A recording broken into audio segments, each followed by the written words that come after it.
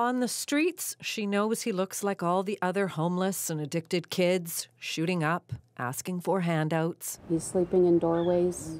But when Susan Besette thinks of her son, she doesn't picture him that way. He's still my baby. A smart little boy who could charm anyone. Spunky little thing. Everyone would tell you that. Everyone loved him.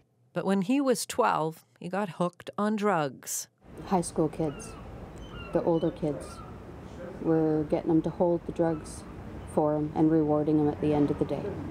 That was three years ago. He's only 15 now. I just want him to get help. She knows the only thing harder than being an addict may be loving an addict. My biggest fear is him shooting fentanyl and just Dying. Dying is the word she does not want to say. Yeah. We need to do something. He's been to rehab. He was clean for almost a year. He even finished 10th grade. But he is an addict. Well, he's only got four minutes if he shoots too much fentanyl. And he's shooting heroin, fentanyl, and meth in his neck. Still, he always stayed in touch. He also sent her poems he wrote. Lost minor.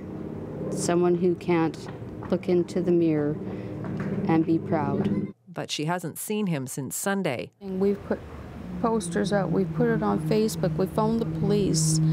There have even been trips to the downtown east side searching. I just want him home.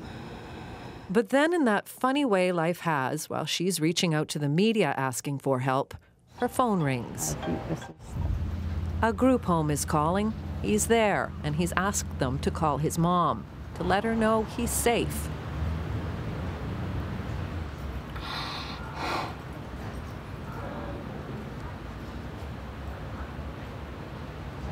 He asked them to phone detox.